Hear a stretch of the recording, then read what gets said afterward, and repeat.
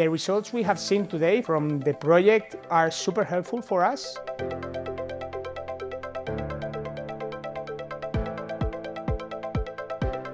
tuTECHÔ has presented Advantere students three main challenges. The first one has been to value our real estate portfolio. The second one has been to try to quantify our social impact. And the third challenge we have presented has been to compare our results with uh, other real estate companies.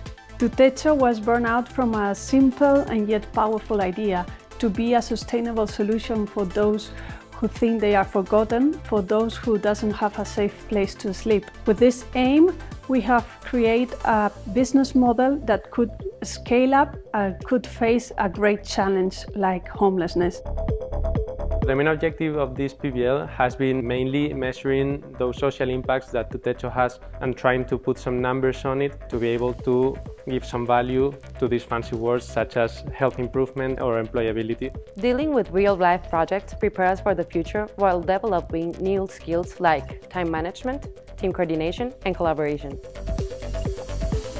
The challenging part was finding accurate information for measuring social indicators. The rewarding part was that I felt I was part of this amazing project. And one key learning is the impact and profitability can coexist. I think this is a huge opportunity for young leaders to dive into practical world and especially this, these cases like tuTECHÔ that they have the chance to, to work with companies that are not only here because of the economics but because of the social impact that they are doing in society.